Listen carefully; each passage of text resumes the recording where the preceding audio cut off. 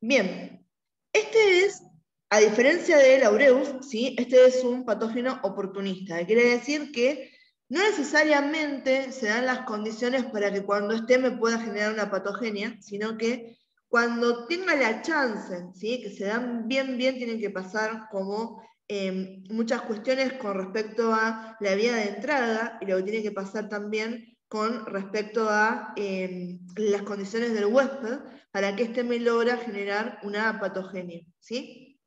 Cuando hablamos de, eh, de este, ¿sí? estafilococo, lo que vamos a ver es que em, lo vamos a encontrar a nivel normal en la piel y las mucosas, ¿sí?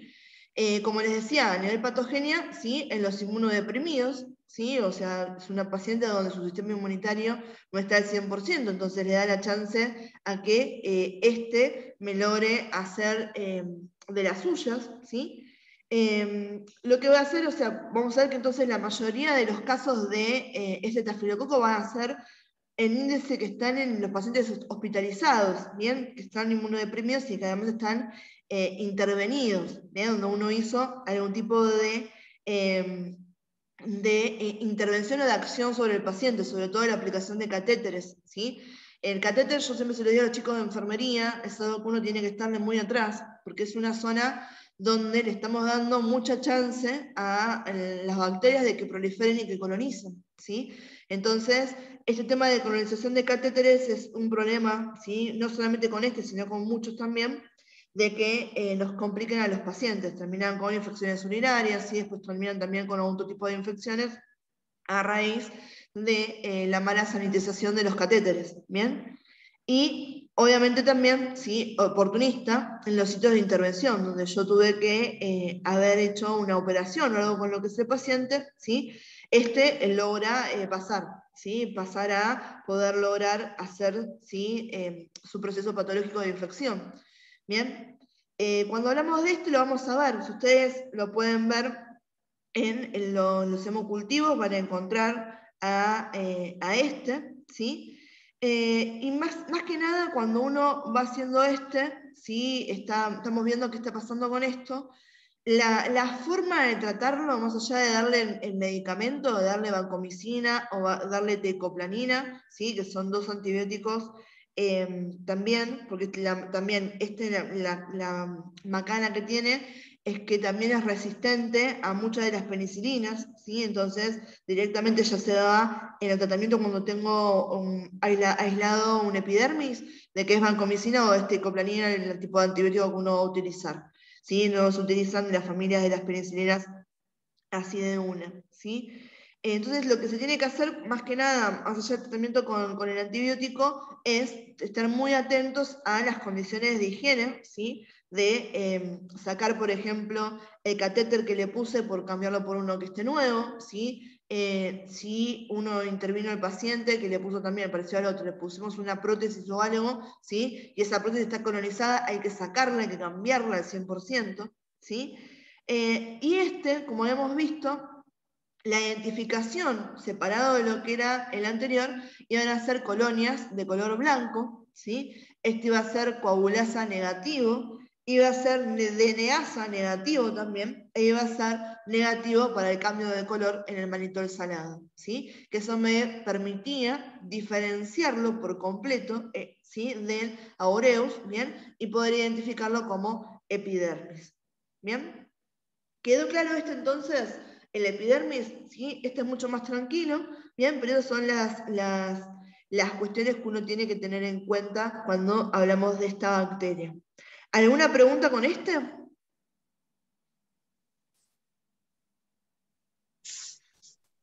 No, profe. No, profe, no. Bien, vamos entonces con los estreptococos, ¿sí? Ya acá de vuelta, esta sería la diapositiva grande, donde estamos viendo cada una de las cosas que vamos a nombrar con respecto a los estreptococos. ¿sí? Entonces, una principal diferenciación a nivel morfológico es que si tengo un estreptococo, ¿sí? lo voy a ver coco, son redonditos, ¿sí? y estrepto me está hablando de que son en cadena. La disposición es en cadenas lineal, a diferencia de los estafilos que van a ser en racimo. ¿sí? ¿Cuáles son las eh, características generales de estos, ¿sí? Son, a nivel de los requerimientos con respecto al oxígeno, son anaerobios facultativos, ¿sí? En algunos casos van a también ver, escuchar que algunos pueden ser camnófilos, ¿sí? Pero anaerobios facultativos es como la generalización más grande. A nivel de la prueba de la catalasa, ¿sí? que esta me servía para separarlo de los estafilococos, estos iban a ser negativos. Estreptococo es catalasa negativo. Estafilococo es catalasa positivo. Fíjense que la tienen marcada ahí, ¿sí? con un color diferente, para que vuelvan a tener en cuenta la importancia de esa prueba bioquímica que habíamos dicho al principio. ¿sí? Los estreptococos los encontramos comúnmente a nivel de lo que es la flora humana normal, ¿sí? Y esto tiene algo que es importante desde el punto de vista de la identificación serológica, ¿bien? Es que a nivel de la cápsula, ¿sí? estas bacterias, ¿bien? Voy a encontrar a determinados antígenos, que son de tipo polisacárido, que me permiten a mí entonces pensar qué tipo de estreptococo tengo en base a una clasificación que se llama grupos de Lancefield, ¿sí? Estos grupos me los separan a estreptococos de grupo A, de grupo B, C, D, E, F y G. ¿sí? Esos son los grupos en base a qué? A la identificación serológica. ¿sí? Después, separado de estos, otra forma de clasificarlos es hablar de los subgéneros. ¿sí? ¿Cuáles son los subgéneros que más me van a importar con respecto a los estreptococos? ¿sí? Biogens, ¿sí? Alecteae, Pneumoniae, ¿sí? Virios lo vamos a ver, ¿sí? pero en realidad el que más me interesa, los que más me interesan son estos tres. ¿sí? Y los medios de cultivo, básicamente más que nada es el agar sangre, agar granada lo pueden escuchar también, ¿sí? pero ese va a ser el medio de cultivo que uno más utiliza. Vamos a ver después, para estos tres, ¿sí? para cada uno de estos, para piógenes, agalactae y neumonía, que tenemos ¿sí? pruebas bioquímicas que podemos utilizar. Podemos utilizar la prueba de la optoquina, la prueba de la vasopricina, podemos utilizar ¿sí? Em, la prueba que tiene que ver con la eh, hemólisis, ¿bien? Y también con el tema de la identificación de los, los estreptococos y si son alfa, beta, ¿sí? Eh, hemolíticos, ¿bien? Y demás. Bien, entonces acá hay como también de vuelta, ¿sí? Ciertas cuestiones a nivel de las pruebas bioquímicas que son muy, muy importantes a nivel de saber con qué estoy trabajando, cómo identificarlos. ¿sí? Y este tema de si son hemolíticos o no, ¿sí? es súper importante, por eso les decía que el medio de cultivo preferencial iba a ser el agar sangre. Bien, y eso se viene a colación de esto, ¿sí? de que la hemólisis es un factor de identificación ¿sí? Otra separación, ¿sí? Tenemos los subgéneros, tenemos a los grupos de Lancefield y tenemos a la separación según la hemólisis, ¿sí? En los tres grupos, alfa hemolíticos, beta hemolíticos y los gamma hemolíticos, ¿bien? Que estos me van a llevar a nosotros, ¿sí? A, a ver una diferenciación en la coloración de estas colonias, ¿bien? Y en el halo que están generando en el medio de cultivo, ¿sí? Entonces, cuando uno habla de los alfa hemolíticos, que son los que tienen acá, ¿sí? vamos a ver que la lisis, ¿sí? o sea, la hemólisis de los eritrocitos es incompleta. ¿Bien? Entonces, en base a la hemoglobina, más que nada, es lo que me está dando esa coloración verdosa. ¿sí? Como no termina bien de romperse por completo, me queda acá como una coloración bastante verdosa y estos son los que yo identifico como alfa hemolíticos. ¿sí? Los beta hemolíticos ¿sí? son los que hacen una lisis completa. Bien, fíjense acá, lo estoy viendo. ¿sí? Beta hemolíticos, perfecto. ¿sí? El halo que no tengo halo, no tengo nada, son directamente estos. ¿sí? Es un halo, ¿sí? más que nada amarillo transparente, pero no estoy viendo nada del índice verdoso como estaba viendo de acá. ¿sí? Estoy hablando que tengo una lisis completa. ¿sí? Son los beta hemolíticos. Y los que son los gamma hemolíticos, ¿sí? fíjense que acá tengo las colonias sembradas, pero no pasó absolutamente nada. ¿sí? Entonces, en este caso, estos no son hemolíticos. ¿bien? Entonces, uno siembra a los estreptococos ¿sí? en un medio de cultivo que sea, por ejemplo, el agar sangre. ¿bien? Si tengo una hemólisis incompleta, como tengo acá y como tengo acá, voy a ver un halo verdoso y los voy a clasificar como alfa hemolíticos. Si tengo una hemólisis completa, donde lo veo amarillento, ¿sí? donde veo realmente como si hubiese borrado parte del medio de cultivo, ¿bien? Voy a clasificarlos como beta hemolíticos, ¿bien? Y donde los siembre, donde no vea ningún tipo de hemólisis, ausencia completa de hemólisis, ¿sí? Donde no veo ningún halo, no veo absolutamente nada, veo solamente la colonia como la sembré, en ese caso voy a ver que son los gamma, ¿sí? que son los no hemolíticos. ¿bien? No le decimos gamma hemolíticos porque, ¿sí? porque los gamma no, no son hemolíticos. Entonces, alfa hemolíticos, beta hemolíticos y gamma, esa sería la clasificación completa, correcta, cuando estamos hablando de la identificación de estos grupos en base a la hemólisis. ¿Bien? Entonces, ahora cuando veamos cada uno de los, eh, los subgéneros que estuvimos nombrando recién, vamos a decir, ¿sí? y es importante que ustedes los recuerden al momento de identificarlos, si son alfa-molíticos, beta-molíticos o si son gamma. ¿sí? Eso es una de las cosas que uno nombra cuando estamos ¿sí? hablando de los estreptococos. ¿Bien? ¿Se entendió esto entonces? ¿sí? de las generalidades que vimos recién y con respecto a la hemólisis como factor de identificación. ¿Alguna pregunta a lo que no se haya entendido?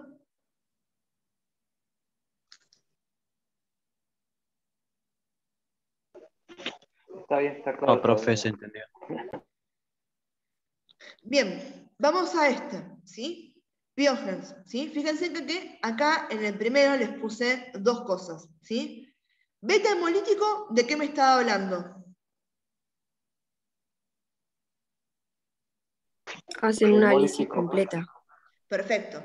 Hace una análisis completa, por lo cual lo voy a ver como ¿sí? un halo amarillento. ¿sí? Y si me digo que es de grupo A, ¿de qué les estoy hablando? Del grupo serológico. Perfecto, ¿sí? Es la identificación dentro de los grupos de Lancefield, ¿sí? En, en, cuanto a los antígenos polisacáridos de la cápsula, ¿sí? Entonces, fíjense en que esa es una forma de poder eh, unir las dos clasificaciones y ser un poquito más específico cuando estamos hablando de los subgéneros en particular. Entonces, subgénero, ¿sí? Stratococo, Pionger, ¿sí? Es beta hemolítico y pertenece al grupo A. Esa sería la clasificación completa para poder entender este, ¿sí? ¿De qué estamos hablando? ¿Sí? Entonces, de vuelta, por las dudas, para que no, si no, no quede ningún tipo de duda con esto, lo cultivamos en agar sangre, la hemólisis es completa con un halo transparente, por eso es un beta hemolítico. ¿Bien? ¿Dónde lo vamos a encontrar? En el tracto respiratorio. Y en este, el Piogens es muy, muy, muy, muy particular, más que nada de los pediátricos. ¿sí? En los chicos es donde más voy a poder aislar y encontrar esta bacteria. ¿sí? Fíjense en que algo justo me había preguntado una compañera que se le había colgado el audio de la compu en, la, en el Zoom pasado, ¿sí? que era, ¿qué significaba que era piógeno? Y este, el nombre directamente me lleva a eso. Entonces, fíjense de vuelta como el nombre nos buchonea una de las principales causas, ¿sí? manifestaciones, no causas, manifestaciones patógenas que tiene esta bacteria, que es produce pus. Donde yo vea este, lo voy a ver que tiene pus. Es, por ejemplo, cuando uno dice, tengo una amigdalitis, ¿sí? Estoy hablando acá de las presentaciones, ¿sí? Fíjense en esto, ustedes ya lo vieron más que nada con, con fisiopato, ¿sí? Fíjense que todos terminan en itis, itis, itis, itis, ¿sí? Y yo les decía que la parte que eh, empieza la palabra me está diciendo dónde, ¿sí? Faringitis en la faringe, sinusitis en los senos paranasales, amigdalitis en las amígdalas, otitis en el oído, ¿sí? ¿Y por qué les decía las amigdalitis? Porque esta es la que más van a tener en cuenta. ¿sí? Si alguna vez tuvieron amigdalitis, ¿sí? estamos hablando que estoy en, el índice de la, em, de la orofaringe, ¿sí? estoy, estoy hablando de que tengo el, estoy en la parte posterior a la cavidad bucal, donde uno ¿sí? abre la boca y de golpe encontramos qué cosa, las amígdalas que están inflamadas, ¿sí? Por eso hablamos de que es una amigdalitis, hay una inflamación, ¿sí? causada por este caso por un agente, patógeno infeccioso, que es esta bacteria, y voy a ver que tiene esas placas, donde uno dice, tienes unas plagas con pus tremendas, es este. ¿Sí? Porque yo puedo tener amigdalitis, pero no veo ese tipo de placas, ¿sí? Entonces, cuando hablamos de esta, ¿sí? Es como muy, muy marcado esa característica de que es piógeno en el tipo de presentación patógena que yo estoy viendo, ¿sí? Porque cuando le encuentro pus a ese, sumado a la inflamación que está teniendo el paciente, ¿sí? Me hace pensar en este, ¿sí? Entonces, respiratorio, lo puedo encontrar a nivel de la faringe, los senos, los senos paranasales, amígdala, la otitis. Fíjense que estamos todos, si ustedes recuerdan un poco de lo que es anatomía, estamos todos a nivel de la vía alta. ¿sí? Este no me llega a vía respiratoria baja. ¿sí? Lo voy a encontrar a estos niveles a nivel de la nariz, ¿sí? Eh, tracto respiratorio alto donde más va a estar este. ¿sí? Ahora, ¿es la única presentación donde yo lo puedo ver a este generándome una patogenia? No, también lo puedo ver a nivel cutáneo, ¿sí? Eh, a nivel cutáneo hay tres presentaciones que son las, las, las, más importantes con respecto a esto y sobre todo si alguno tiene chicos o escucharon, ¿sí?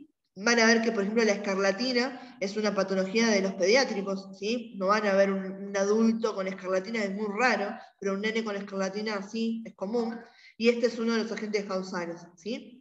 Pero vamos con orden. La erisipela, ¿sí? Es, es una, eh, una infección a nivel cutáneo. Eh, cuando ustedes escuchan que el paciente tiene una, una erisipela, está, es importante que uno viene a identificar ahí cuál es el factor eh, patógeno, ¿sí? Atrás de este. Es una infección a nivel de, la piel, ¿sí? que puede generar, puede generar lo que es una, una, inflamación en ese, en ese lugar, ¿sí? se puede generar también algún tipo de, absceso. ¿sí? Eh, es bastante grave, sobre todo la van a ver que la erisipela la van a encontrar a nivel de la cara, ¿sí? tiende a estar a nivel del rostro. ¿sí? De vuelta, está a nivel de la piel, pero fíjense en esa relación cercano a, eh, ¿qué cosa? a la vía respiratoria, porque una de las vías de vehiculización de este patógeno es a través de las secreciones respiratorias, ¿sí? que eso llegue a la cara de uno, una de las cosas más comunes.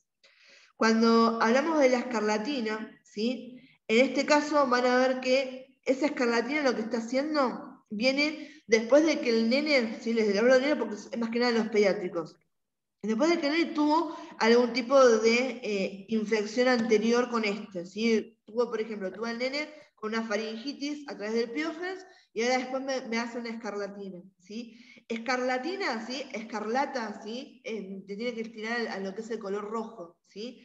Em, esta lo que tiene es una, genera una, hay una cepa particular del piógenes que genera una toxina que va a ser, ¿sí? Eritrogénica, entonces eso hace que ustedes vayan a ver como que se forman en los, en los, chicos a nivel cutáneo, todas unas manchas, unas ronchas enormes de color ¿sí? rojo ¿sí? o rosáceo, por eso viene lo de escarlata, ¿sí? rojo, escarlatina, de ahí viene el nombre. Y cuando hablamos de necrosis tisular, estamos diciendo que este cuando hace asidero a nivel del tejido puede llegar a la muerte celular. Cuando yo vea la muerte celular, que voy a ver, cómo le voy a decir eso, necrosis. Son zonas de tejido muerto, ¿bien? Donde es por acción de este a nivel cutáneo. Generalmente el tratamiento directo que uno hace contra el piógeno es, a través de la penicilina, ¿sí? ese es el antibiótico por excelencia que se les da. Eh, y las complicaciones que uno puede tener para este, ¿sí? Eh, tienen que ver con la eh, fiebre reumática. Esto me va a afectar a las articulaciones, ¿sí? Eh, de vuelta levanta temperatura, ¿sí? se nos puede complicar. Y más que nada, más que nada, la, complicación que, más nos pone en jaque al paciente con respecto a esto son las glomerulonefritis agudas. ¿sí? Estamos hablando de que tengo una inflamación a nivel del glomérulo y todo lo que sean presentaciones agudas que me estén afectando la vía renal, ¿sí? Eh, son, son cosas que no las puedo dejar pasar. Bien, porque eso después me puede traer un montón de complicaciones. Algunas que ustedes, los que cursaron fisiopato conmigo, ya estuvieron, estuvieron viendo que la parte renal y el buen funcionamiento renal es extremadamente importante para el estado físico general del paciente. ¿sí? Generalmente cuando un paciente, sobre todo un paciente internado, empieza a tener falla a nivel renal, ya es un recontra signo de alerta de que algo tenemos que hacer porque después se nos puede descompensar bastante. Por eso les decía que más allá de la fiebre reumática, ustedes tienen que, tienen que acordar una complicación que puede derivar de la infección por este, por, este, por esta bacteria, ¿sí? la glomerulonefritis aguda eh, sería la, ideal que tengan en cuenta porque sería una de las presentaciones más graves con este. ¿sí? ¿Alguna duda? ¿Algo que no se haya entendido con respecto a eh, las líneas generales de las características de esta bacteria?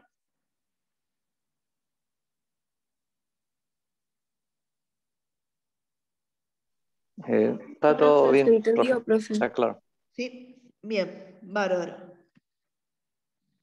Y acá tenemos una prueba bioquímica que es justamente para este. ¿sí? Entonces se ponen a biógenes y la prueba bioquímica es la que les decía que tiene que ver la prueba de la bacitracina. Esta, chicos, si ustedes me escuchan bien ahora, cuando hablemos de la prueba de la optoquina, es exactamente lo mismo concepto. ¿sí? Entonces, lo que me cambia es el, antibiótico que estoy utilizando. ¿sí? Entonces, ¿qué hago? Yo sé que el biógenes, ¿sí? este estreptococo, es muy sensible a la bacitracina. ¿sí? Y en este es extremadamente sensible, o sea, yo necesito altas dosis de este antibiótico para que se me genere una reacción. ¿sí? Eh, hay algunas cepas ¿sí? que se las puse entre paréntesis para que tengan en cuenta, ¿sí? de vuelta, que muchas veces cuando uno habla de estas pruebas confirmatorias, tenemos que eh, hacer pruebas de control complementarias, que uno no se queda con una sola cosa, ¿sí? para, para poder diferenciarlo. ¿Bien? porque por ejemplo hay un 5%, o sea, casi nada, de otra de, los subgéneros que se la galactean, ¿sí? que puede ser sensible a la bacitracina. ¿sí? Eh, pero bueno, siempre, más que nada, cuando se habla de esta prueba bioquímica, es para la identificación del piógeno. ¿sí? Eh, entonces, ¿qué hacemos? Nosotros tenemos ¿sí? el medio de cultivo, bien normal, ¿sí? es el, lagar sangre, como, como, lo, lo, conocemos, ¿sí? Y sobre ese medio de cultivo se siembra ¿sí? bastante de eh, la muestra que uno tiene. ¿sí? O sea, agarran el, asa, eh, el asa que ustedes tienen para poder sembrar, ¿sí? hacen las estrías, ¿sí? no una sola raya, sino que hacen un estriado bastante copado, ¿bien? para darle bien, bien la chance a que esto ¿sí? prolifere. Se lo incuba, ¿sí? poniéndole un disco, una pastilla, se dicen discos, pero es como si fuera una pastilla, ¿sí? de este antibiótico que es la bacitracina. ¿Sí? Se lo deja aproximadamente 18-24 horas, ¿sí? de vuelta fíjense en la temperatura, como si fuera la temperatura corporal, ¿bien? ¿Y qué pasa? Este, yo le puse un disco, el medio, y atención a esto, el medio no es un medio que contenga bacitracina, ¿sí? El medio es el medio de, eh, cultivo normal, ¿sí? Es una agar sangre común y corriente, ¿bien? Yo lo que estoy queriendo hacer acá es darle la oportunidad a que esta bacteria prolifere en el medio de cultivo. Pero en una parte, ¿sí? particular, le voy a poner esto, que el accionar no va a ser con todo el medio, sino que va a ser con la inmediatez. Entonces, la presencia ¿sí? de un halo de inhibición, que quiere decir, fíjense, acá me creció, acá me creció, acá no tengo nada, no me crece. ¿sí? Entonces, cuando, ¿Por qué le hice acá y les puse en particular de cualquier diámetro? Porque cuando uno hable de la prueba de la optoquina, ¿sí? hay un diámetro eh, particular que uno tiene que marcar para saber si es positivo o negativo. Acá, donde ustedes vieron que se formó algo alrededor de esto, donde yo no tengo colonias que estén creciendo, ¿sí? eso ya la puedo tomar como es una prueba positiva para la bacitracina, ¿sí? donde hubo inhibición, que quiere decir que el que estaba teniendo acá creciendo era un piollo que es sensible a este antibiótico. ¿sí? Eh, entonces lo, miro directamente de acá y cuando veo que no creció, es positiva para este. ¿sí? ¿Se entiende entonces de qué se trata la prueba de la bacitracina?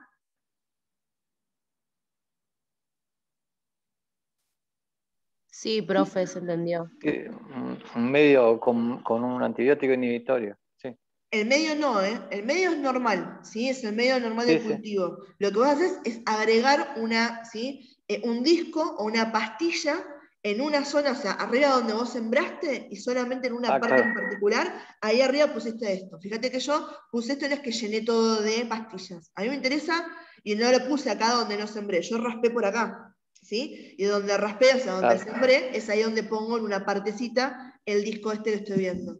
¿sí? Entonces, el disco este obviamente tiene una acción antibiótica. Entonces, donde veas que alrededor de esto no creció nada, es que es el rango de, acción de este antibiótico. ¿Sí? Que después te crece normal, ¿sí? Si no, si hubiese sido todo un medio inhibitorio, no hubieras tenido que te haya crecido nada en, este, en, lo que es la placa.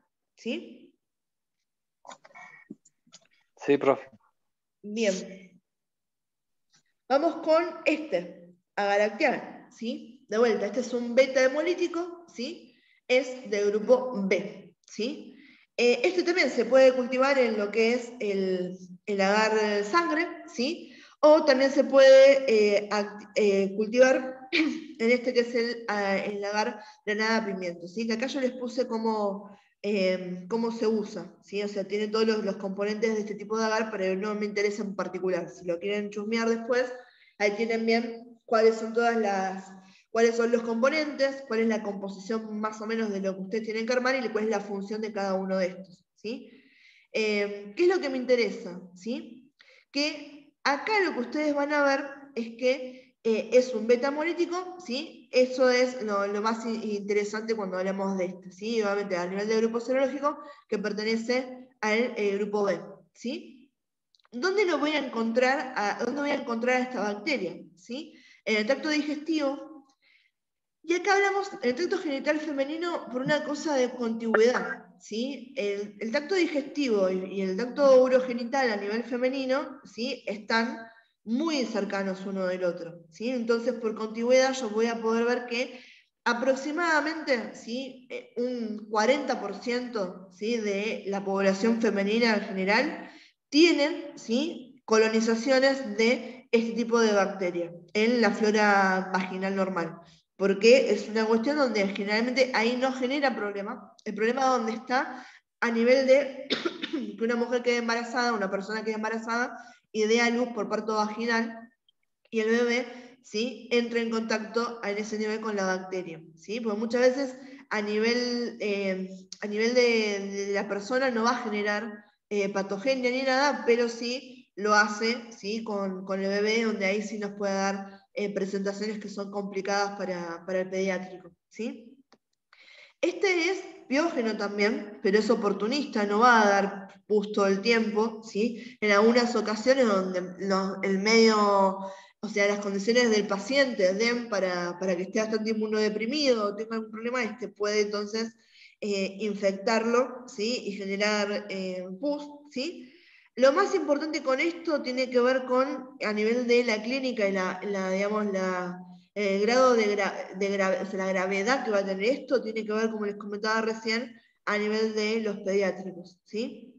Nos puede generar de cosas, cuando lo ve pasa por el canal de parto, sepsis neonatal precoz. ¿sí? En un chico, cuando hablamos de eh, sepsis, y sobre todo en un neonato, imagínense el tamaño que tiene un bebé recién nacido, la septicemia es algo que en un abrir y cerrar de ojos se te fue de las manos. ¿sí? Por eso dice precoz encima, o sea, rápidamente ¿sí? no te dio tiempo mucho a reaccionar y ves que el nene empieza con una falla sistémica copada, ¿bien? Porque lamentablemente se pescó esta bacteria de camino. Meningitis, ¿sí? Es otra de las patologías que puede generar. El cuadro de la meningitis es igual al que estuvimos hablando en la clase pasada. Lo que me cambia acá, recuerden que yo les dije, cuando uno identifica que el paciente puede tener una meningitis, saber qué microorganismo me lo está causando es extremadamente, pero muy, muy, muy, muy importante. ¿sí? Fíjense que acá tengo a este. ¿sí? Entonces habíamos visto la meningitis, la meningocóxica, y acá tenemos la meningitis, pero por otro agente etiológico. ¿sí? Es, pero el cuadro que me genera es el mismo, ¿sí? es toda la inflamación de las meninges, ¿bien? y también con las mismas complicaciones que puede tener. Y la neumonía, ¿sí? cuando este llega a los pulmones, también me genera eh, una inflamación a nivel de, los pulmones, ¿sí? que también las neumonías no son nada para, eh, para descartar, nos pueden traer complicaciones graves también cuando un bebé, ¿sí? el cambio de los pulmones, ¿sí? y ni hablar si es un bebé prematuro, si es un bebé prematuro y se engancha neumonía es muy grave porque con los pulmones son uno de los de los órganos que son los últimos en terminar de estar listos, ¿sí? antes de que el bebé pueda salir y ser viable en, la vida extrauterina. ¿sí? Entonces imagínense un neonatal, sobre todo uno que es, es em, se me fue la palabra, es prematuro, ahí está, un prematuro, ¿sí? con neumonía es una complicación también. Por eso, a nivel de eh, lo que me interesa que les quede a ustedes con respecto a este, que sepan que es oportunista, que lo encontramos normalmente tanto en el tracto digestivo como en el tracto urogenital femenino por continuidad. ¿sí? Eh, y que las complicaciones más que nada van a estar a nivel de los pediátricos en relación a estar contaminados al momento de pasar por el canal de parto en caso de que sea un parto vaginal. ¿sí? Eh, tiene tratamiento, obviamente está bueno esto, que es un antibiótico, ¿sí? que es la ampicilina. ¿sí? Eso es lo que uno utiliza más que nada, de preferencia, de poder usarse, se usa ampicilina. ¿sí? Y este tiene una prueba que es bastante interesante, ¿sí? que se llama la prueba de Camp, ¿bien? que eh, esto me sirve, mm, me sirve para este y me sirve también para los estreptococos que sean del el grupo eh, beta-hemolítico, ¿sí? Porque tiene algo que se llama CAMP. CAMP es un factor, ¿bien? Que se llama, ¿sí? Eh, de adenina ciclina, ¿bien? No importa. Factor CAMP, ¿bien? ¿Qué pasa esto? Uno lo que va a hacer es, ven acá que hay tres rayas, ¿sí? Hay una que está en la estrella en el medio y luego tenemos dos que van a hacerse de forma perpendicular. La estrella que está en el medio, esto que estoy sembrando acá, ¿sí? Es eh, un estafilococo, ¿sí? Este de acá generalmente es el aureus, ¿sí? Este estafilococo que produce ¿sí? beta-lisina. ¿Qué pasa? La beta-lisina, cuando actúa, interacciona con el factor CAMP, lo que hace es que se eh, aumenta ¿sí? La, eh, el grado de hemólisis que estás teniendo, o sea, la zona donde voy a tener la hemólisis. ¿sí? Hay como una reacción ¿bien? que se llama, ¿sí? Eh, se le puede decir un sinergismo de la, de la hemólisis, ¿bien? Donde uno lo va a ver que esto tiene como si fuera una punta de flecha. ¿sí? Entonces le queda, porque uno hizo de esta manera el sembrado. ¿bien? Esta parte de acá que está en contacto con, con este, acá se reproduce la reacción, acá lejos no tengo nada que me esté reaccionando de esa manera, por eso acá tengo como un aumento de, ese, de esa zona de hemólisis y lo veo como si fuera una punta de flecha. Este que tenemos acá es el control. ¿sí? Acá puse otro bien, perpendicular que no sea uno de estos beta hemolíticos, bien, para de vuelta darme cuenta que lo que estoy haciendo está bien, está correcto, ¿sí? Eh, y esto lo que no les había comentado, que no está acá, esto se tiene que hacer ¿sí? en condiciones que sean ¿sí? Eh, microaerofílicas. ¿bien? Eh, ustedes tienen en, el laboratorio de bacterios, ¿sí? hay como, como unas latas donde uno los pueden poner eh, a estos medios de cultivo, ¿sí? donde le ponen también una, una vela, por ahí tiene otro nombre eh, práctico que no lo conozco, después se los busco cualquier cosa, pero siempre lo leí como, como vela, eh, que eso es lo que está haciendo, obviamente está consumiendo el oxígeno, esa combustión hace que se, se consuma el oxígeno, y eso le da las condiciones propicias para que esto se desarrolle. ¿sí? ¿Qué pasa? Esto lo incubamos, entonces, en esas condiciones, de vuelta 18, 24 horas a 37 grados centígrados, ¿sí? Y la prueba positiva, ¿cuál es? ¿Sí? Que yo vea estas puntas de flechas, ¿bien? Esta zona de potencialización de la hemólisis, ¿bien? En el lugar donde están contactando las estrías. Yo no atravieso esto, lo llevo hasta que toque la que acabo de sembrar, lo llevo hasta que toque la que acabo de sembrar, ¿sí? Y donde veo esto, ¿sí? Esto me separa a que yo pueda identificar que el que estaba trabajando ¿sí? era, por ejemplo, un aureus. ¿Bien? Em, ¿Se entendió esto? ¿Sí? Un aureus. ¿Sí? Una galacteada. ¿Sí? ¿Se entendió esta, la prueba de Camp? Entonces, ¿qué es lo que tiene que hacer y las condiciones generales de eh, esta bacteria, de este estreptococo? Eh, sí, profe. ¿Sí? Bien, vamos con este que seguramente lo han escuchado nombrar, ¿sí? más o menos lo conocemos, ¿sí? o por lo menos conocemos la patología que tiene un nombre parecido, ¿sí? es neumonía, ¿sí? este es un alfa hemolítico. ¿bien? Entonces, alfa hemolítico lo voy a ver porque me generaba ¿sí? una hemólisis incompleta, ¿sí? que en el medio de cultivo que iba a ser el agar sangre, por ejemplo, iba a darme este halo verdoso. ¿sí? A nivel de la morfología, ¿sí? este en realidad lo vamos a ver como estreptococos, ¿sí? que son bastante alargados cuando los vemos, ¿sí? parecido a como están viendo acá. ¿sí? Y una cuestión que nos lleva a nosotros a pensar en qué tan complicado va a estar el paciente que está infectado con, este, con esta bacteria es el tamaño de la cápsula. ¿sí? A mayor tamaño de cápsula, o sea, cuanto más grande sea la cápsula, que la cápsula, volvamos a lo primero que vimos, ¿sí? era uno de los medios que tenían las bacterias para poder eh, infectar con mayor facilidad, facilidad ¿sí? a los seres humanos, ¿bien? y que además le iba a dar mayor resistencia contra los ataques del sistema inmunitario. Entonces, una bacteria que tiene una gran cápsula, ¿sí? Va a tener mayor, mayor virulencia. ¿sí? Y obviamente a, razón de esto nos permiten las particularidades que uno encuentra en esa cápsula clasificarlo serológicamente. ¿sí? ¿Dónde encontramos a, eh, a, estos tipos de bacterias? ¿sí? ¿Dónde podemos aislar estas bacterias? A nivel de la nasofaringe y a nivel de la orofaringe. ¿sí? Este es, es una bacteria que es de transmisión humano-humano, ¿sí? es nuestra y la infección es a través de las secreciones respiratorias. ¿bien? Por eso, entre paréntesis, una de las cosas que hemos visto hoy en día con el tema de la pandemia a niveles generales eh, fue una baja con el uso de los barbijos, o sea, obviamente una, una baja en lo que se intentó de la transmisión del de COVID, pero también hemos visto una baja de eh, algunos tipos de gripes, ¿sí? otro tipo de patologías respiratorias que las veíamos más comúnmente, porque la vía de presentación presentación. Una de las vías de diseminación que tenían era a través de secreciones respiratorias. El barbijo está, o el tapaboca, está evitando esa diseminación. ¿sí? Entonces, ¿este qué me puede generar? De vuelta por, la cercanía. Lo principal, y lo tienen remarcado, ¿sí? neumonía, ¿sí? neumonía, ¿bien? A nivel de los pulmones.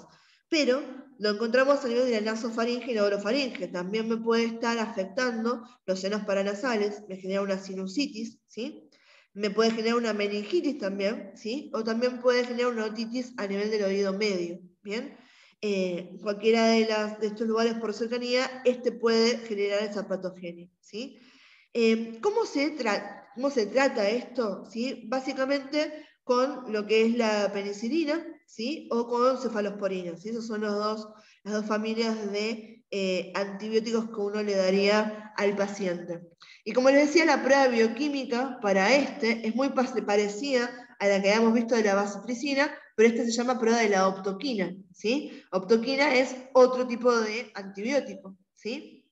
Entonces, acá, ¿sí? fíjense que hay ¿sí? Em, una la sensibilidad a este antibiótico, ¿sí? Lo que se hace es, ¿sí? acá está también una plaga control, ¿sí? acá sembraron otro, em, otra de las, otro de los beta, otro de los, de los estreptococos, ¿sí?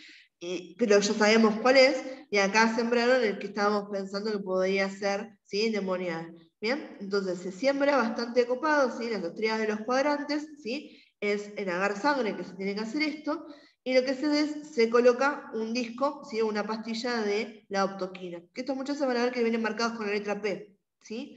Eh, y lo que se hace de vuelta, se deja de incubar 18-24 horas a temperatura corporal 37 grados centígrados, ¿sí? y acá sí hay una diferencia entre la valoración del halo de inhibición. ¿sí?